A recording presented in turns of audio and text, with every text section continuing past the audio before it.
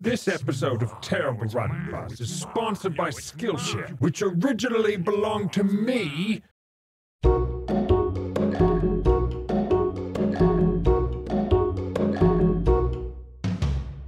If it's too good to be true, then it's probably time to stop being so negative. Between the publishing industry, agents, writing contests, and marketing teams, a writer's life is full of exciting opportunities provided by this one of a kind dream job. Yet there is the small possibility that some of these exciting opportunities might be ripoffs. This may cause a fellow author to become apprehensive and reluctant to seize some of these opportunities, which is why Terrible Writing Advice is here to help writers of all kinds know the pros from the cons. And with a name like Terrible Writing Advice, you know you can trust me. I'm the most trusting person ever. The Nigerian prince I'm letting borrow my bank account even says so. And if you can't trust Nigerian royalty, who can you trust? Now, the important first step for any discerning rider when it comes to potential scams is to ignore all of the details. This means overlooking small discrepancies that might otherwise kick into gear one's analytical thinking. For example, a hopeful rider should never be alarmed that an email from a supposed publishing company has about as firm a grasp on the English language as a drunk Russian, which oddly enough is also what their email address is written in. I'm sure that's legit. Is the email full of generic praise for your work, which they never mention by name? Does it make large, grandiose promises of making the bestseller list but is short on specifics? Eh, my blind optimism will fill in all of those gaps. I especially like it when they address me as Dear Mr. Terrible Writing Advice. Wow, how did they know my name? People who can't even be bothered to do the barest amount of research about me or my work are the perfect people to represent me. I'm sure if I reply, they won't try to rush me through the process as they try to reach my wallet before my brain starts to function again. Oh man, all of these red flags are making it hard for me to see this awesome deal. I don't have time to actually do a simple Google search to find out who this publisher is. They do get mentioned on the Writer Beware blog a bunch, but I'm sure it's nothing. It's not like they've changed their name over a dozen times and faked their own death to dodge previous financial obligations.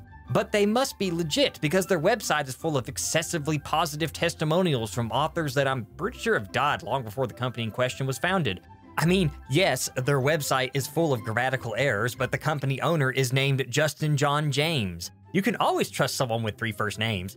Does the company have any credentials? Is their web design still trapped in the 90s? Have they actually published anything ever? Ugh, these red flags are getting in the way again. I have to sign with this publisher. Every writer knows that the publishing industry is this magical group of elite individuals who will sweep in and rescue talented special authors from obscurity, who can then ascend to unparalleled fame and wealth. You know, what we really need is an agent. Thankfully, I found an agent advertising for submissions. Huh. Normally, agents don't advertise for manuscripts given most professional agents are drowning in them as is, but I'm sure this is nothing. Oh, hey, the agent responded to my email really fast and knows the perfect publisher for my book. The agent just needs this small little upfront reading fee. Out of my way, red flag, I'm paying that fee. Also, they need me to pay a small processing fee, also a submission fee, an evaluation fee, editing fee, photocopying fee, mailing fee, manuscript spam fee, the I can't believe he's still falling for this fee, fee processing fee, and fee processing fee for processing fees. Wow, this is starting to get expensive, but surely this will get me published under a shady company the supposed agent secretly owns or gets a kickback from. And here I thought most agents get paid through commission. Thank goodness this agent knows a for hire independent editor that I'm sure the agent doesn't get a kickback from, as well as a very expensive marketing package. No time to check if this agent has actually sold a manuscript ever, while a skilled agent would be willing to provide at least some details on recently published works, this new agent I'm signing with seems strangely elusive when it comes to providing details on their previous sales. I'm sure it's nothing. I can't risk spoiling my dream of being published and led into the exclusive, glamorous world of rich and famous celebrity writers. Now I just need some awards and accolades to slap on my book's back blurb. Thankfully, there are all kinds of awards that a writer can fall into. I mean, win. Now, the easiest way to tell a legit award from a scam one is an astoundingly high entry fee. I'll pay good money to win the Not a Hugo or Nebula award. Hmm, this contest seems awfully broad, as though it's not really designed to showcase exceptional examples of a specific genre or style, but rather made to rope in as many potential writers as possible. What's all this fine print? I'm not going to read that. Reading is for losers, and I'm going to win this contest. Oh, wow! I won the contest along with literally everyone else who entered. What did I win? Why, the once in a lifetime chance to spend yet more money. My story is so good that it apparently needs an editor. Thankfully, the company that handles the contest receives a kickback.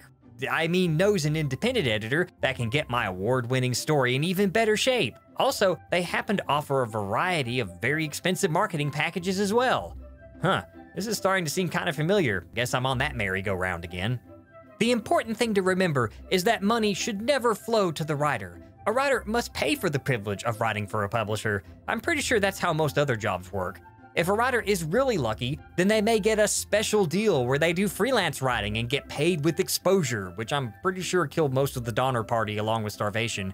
But I mean, hey, culture has long romanticized the starving artist because nothing says romance quite like a diet of ramen and late utility bills. wow, okay, it seems I might have dug myself so deep in the sunk cost fallacy that I have to look up to see the Titanic.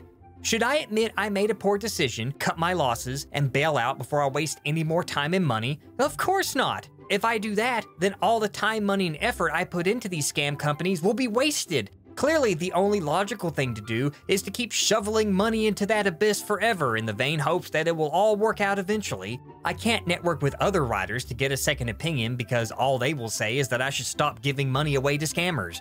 They don't understand. I'm desperate. I would rather let desperation and deep seated fears of being labeled a fool choose my course of action for me, rather than face the harsh reality that I've been duped, and that there is no shame in admitting it, only shame in sinking further into delusion. No, better to think of myself as far too smart to ever get taken in by a scam. Surely my smug self assurance will prove a far more effective defense against potential scams than constant vigilance, logic, research, and skepticism, along with a healthy dose of second opinions and useful links that I have pinned in the comments section below. Now, if you'll excuse me, I have to go wire $6,000 to my future Ukrainian bride so she can fly over to the US to meet me in person. Great. Now everyone's here. Hey everyone. Sorry we're late, but we brought donuts and pamphlets. Never mind. Now we're all here. And what's the Empire doing here? I thought that planetoid took out the evil Emperor. We got better. What loser would offer that as an excuse? Dang it, DL. I thought I had you locked away. Oh, that? I escaped seconds after you left to answer the door. Your chain work needs a bit of polish, by the way. I finished up the MLP series after that. Then I got distracted by this thing you mortals call Netflix. For 10,000 years I binge watched, and now I have arisen once again to claim what is rightfully mine. Your petty squabbling is irrelevant. Behold, lowly meatbags for this episode of Terrible Writing Advice is sponsored by Skillshare. Yes, it is. Now give it back. Skillshare has amassed over 25,000 classes in design, writing, business, technology, and much more. Surely such a rich concentration of knowledge is wasted on inferior organic life forms. Wasted? I have a premium membership that gives me unlimited access to Skillshare's classes and communities, you worthless lump of ones and zeros. Oh, can we have one too? I'll trade you a donut for it. I want to check out the class on graphic design basics. No, you can't, because it's mine. TWA fans can go to skl.sh slash TWA11 to get two months of Skillshare for free. The link is in the description below for the glory of the Empire. No, for the glory of me. No, just as plan. Destroy all humans. You bunch of idiots. If you keep this up, you're gonna draw their attention. Who? Stop before you doom the entire terrible writing advice expanded universe. Oh, great. Just when I thought this whole thing couldn't get any worse, Knight Commander McStabby Pants shows up again.